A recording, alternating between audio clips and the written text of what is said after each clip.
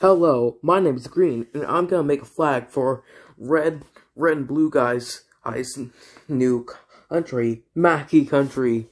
Hmm. Hmm. But how will the flag look? How am I gonna make it? Hmm. Hmm. Maybe I can steal this part of the part of the portrait. There. Now I can put it on the flag.